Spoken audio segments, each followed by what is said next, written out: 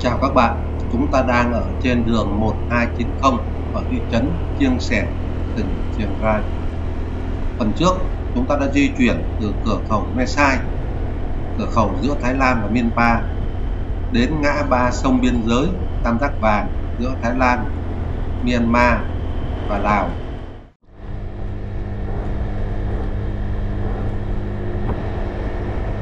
Trong phần này, chúng ta tiếp tục di chuyển về tỉnh Ly Pha Giao, tỉnh cuối cùng trong nhóm 4 tỉnh miền Bắc Thái Lan.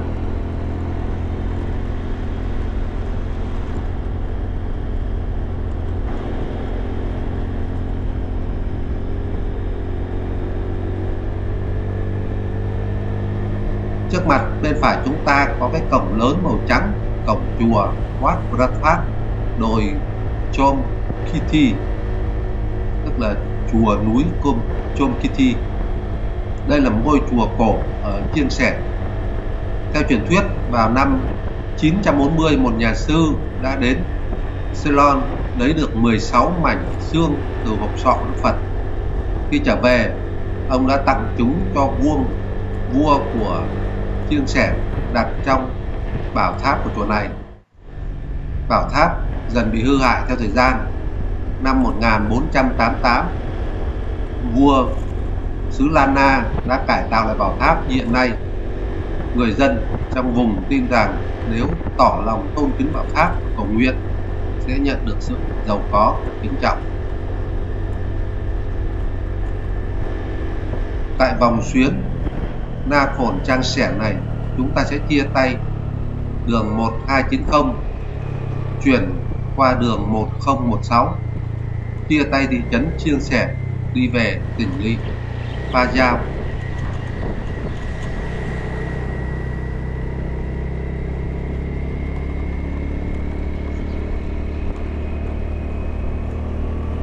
Cung đường từ thị trấn chia Sẻ đến tỉnh Lý Pha Giao dài khoảng 170 km. Theo Google chỉ cần 2 tiếng 37 phút di chuyển là đến đích. Cho thấy đường này khá tốt, cùng trải nghiệm nhé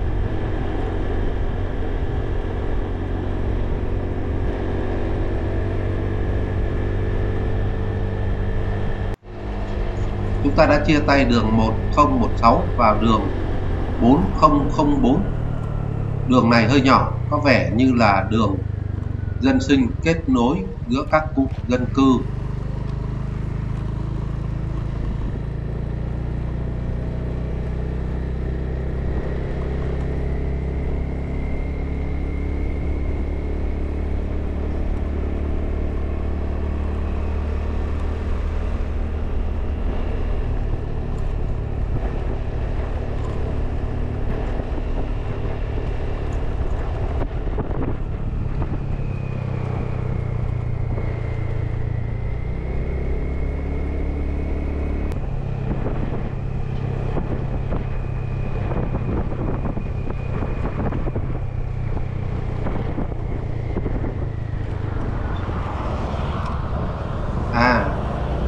Google dẫn chúng ta đi tắt qua đường 4044 này để đến đường 1063 đi về Chiêng Rạn.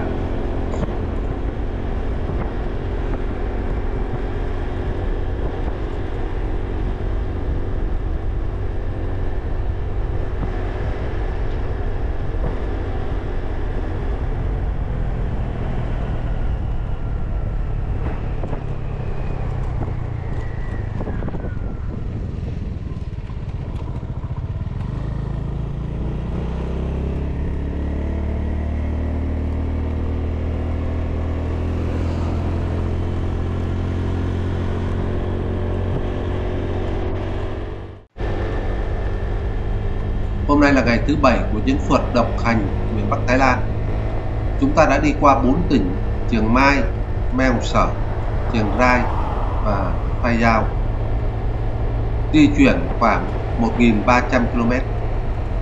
Trong 3 ngày đầu, chúng ta đã di chuyển gần 670 km vượt 4.088 khúc cua của cung đường nổi tiếng Mao Sở từ thành phố Chiang Mai đến thị trấn Pai qua tỉnh lỵ Meo đến thị trấn Mesariang rồi vòng về đồi Ithanon, Nóc Nhạc, Thái Lan và sau đó về lại Chiang Mai.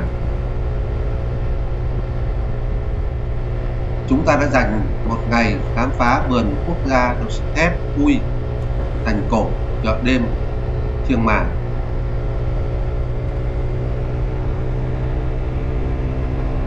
Ba ngày tiếp theo chúng ta đã di chuyển 420 km từ thành phố Chiang Mai đến thành phố Chiang Rai, Đôi Thung, cửa khẩu Me Sai, điểm cực bắc của Thái Lan, ngã ba sông biên giới Thái Lan, Myanmar, Lào, Tam Giác Vàng. Và bây giờ đang trên đường trở về Pha Giao và về lại thành phố Chiang Mai. Kết thúc hành trình. Xin chia sẻ với các bạn một số cảm nhận về giao thông tại miền Bắc Thái Lan này. Mạng lưới giao thông ở miền Bắc Thái Lan này khá tốt, đã di chuyển hơn 1.000 km, nhưng Lão Phượt chỉ gặp mấy trăm mét đường đất khi vào bản người cổ dài Karen. Những con đường xuyên rừng già tuy hẹp vừa đủ hai xe ô tô tránh nhau nhưng đều trải nhựa bằng phẳng không có ổ gà trên đường có các trạm dừng nghỉ vệ sinh điểm ngắm cảnh. Nhiều nơi có tròi gỗ để khách dừng nghỉ tránh mưa nắng, giống như thế nào. Các biển báo hiệu chỉ dẫn nhiều kích thước lớn, có tiếng Anh dễ dàng với du khách. Gần như chỗ giao nhau nào cũng có biển chỉ dẫn, đặc biệt rất nhiều biển chỉ dẫn. Các điểm tham quan du lịch như nhà chùa, hang động thác nước, suối nước nóng, khu nghỉ dưỡng, điểm ngắm cảnh cắm trại, điểm dừng chân, khu vệ sinh, vân vân.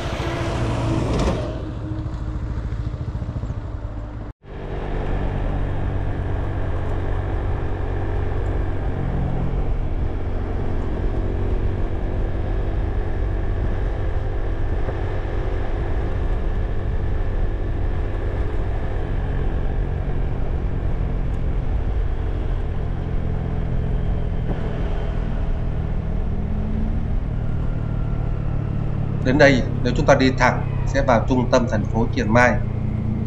Nhưng chúng ta chuyển sang đường 5023 đường tránh của thành phố Chiang Mai.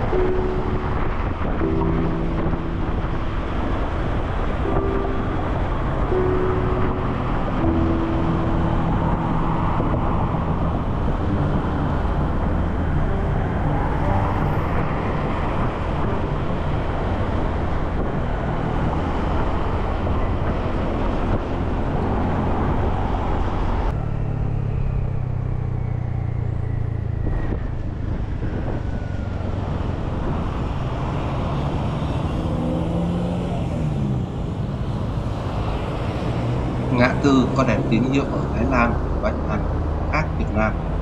Mỗi lần chỉ cho một chiều xe chạy. Đường ngang trước mặt chúng ta chỉ cho chiều xe từ phải sang trái.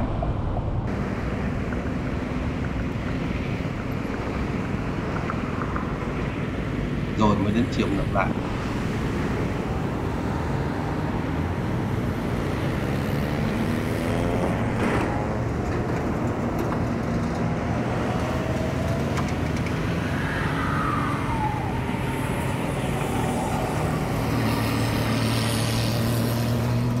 tiếp đến theo trường ngược lại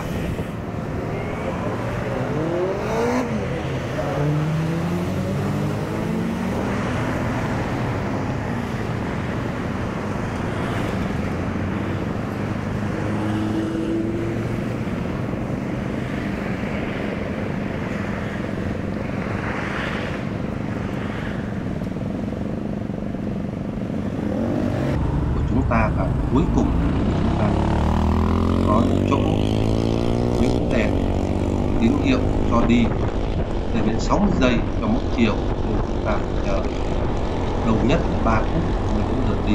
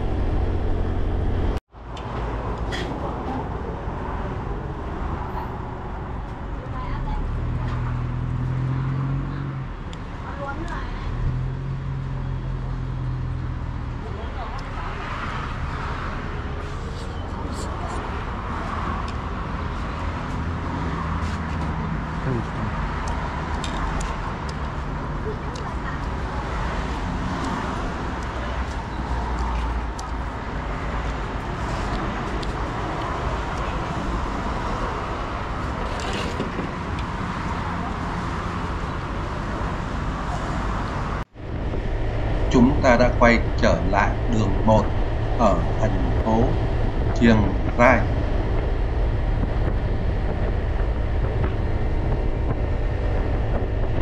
Nếu các bạn để ý lần trước khi đến thành phố Chiang Rai, chúng ta đã đi ở phía bên kia nên chiều ngược lại.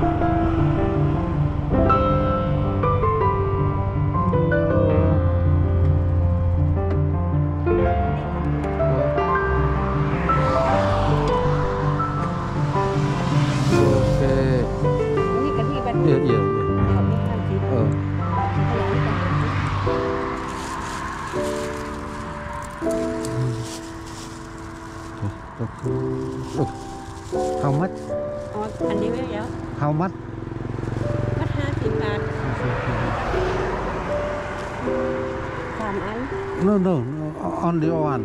Until Egypt.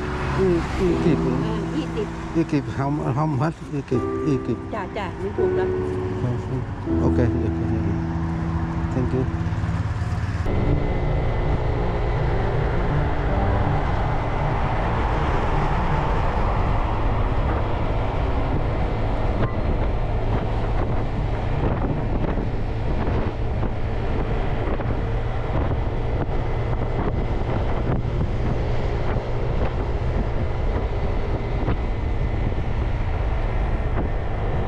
Có biển báo hạn chế tốc độ Thái Lan thì chỉ có 3 nhóm xe, xe tải lớn, xe tải nhỏ, ô tô con và xe máy.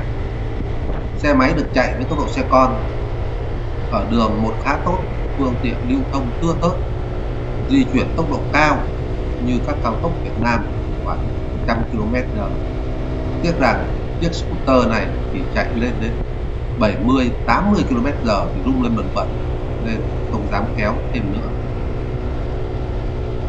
Phương tiện di chuyển yêu thích của lão phượt là xe máy, nó vừa linh hoạt, tự do, tiết kiệm, có thể dừng lại bất cứ đâu, đi đến bất kỳ những nơi xa xôi hay là hẻo lánh nào, vừa đi vừa cảm nhận không khí, hương vị đất trời, phong cảnh xung quanh, văn hóa ẩm thực, bản địa, đặc biệt là những nơi có nhiều cảnh đẹp thiên nhiên được bảo tồn, không khí trong lành như miền Bắc Thái Lan này. Tuy nhiên, chạy xe máy ở Thái Lan cũng phải cần thay đổi một số thói quen hàng chục năm khi ở trong nước. Thứ nhất là luôn nhớ đi bên trái. Trên đường đông phương tiện thì đi theo người ta dễ dàng nhưng khi rẽ vào đường vắng hoặc xuất phát ở đoạn đường vắng theo thói quen vẫn bám về phải ít nhất hai lần lão phượt làm cho người thái hoảng sợ vì họ không thể tin trên đời có người lại chạy xe máy ngược chiều như vậy thứ hai là xe từ trong đường tránh ra phải dừng hẳn, chờ đường chính thông thoáng mới ra đường. Các bạn để ý trên đường, không có hàng rào, nhưng xe vẫn chạy với tốc độ rất cao, không cần đẩy phương tiện từ các đường tránh ra. Lão phượt cũng ít nhất một lần làm phương tiện lưu thông trên đường chính hoảng sợ vì thói quen vừa đi chậm chậm ra đường, vừa quan sát có khoảng trống là băng ngang. Người thái không tin có người ra đường sát như thế.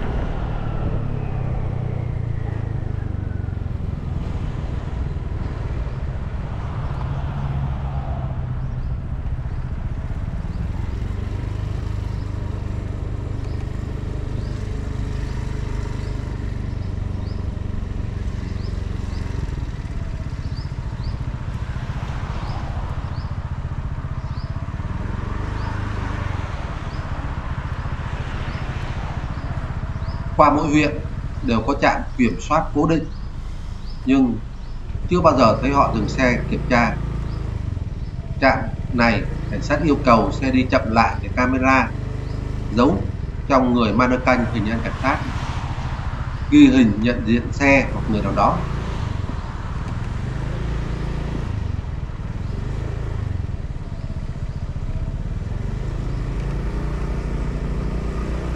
Thái Lan là đất nước phát triển khuyến khích du lịch. Cảnh sát Thái Lan sẵn sàng bảo vệ giúp đỡ du khách, họ rất thân thiện. Bạn gặp khó khăn, hãy yêu cầu họ giúp đỡ.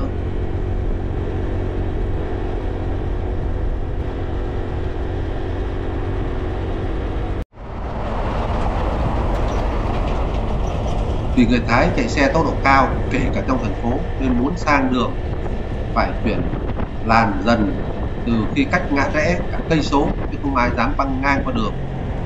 Các biển cảnh báo cho xe keep right.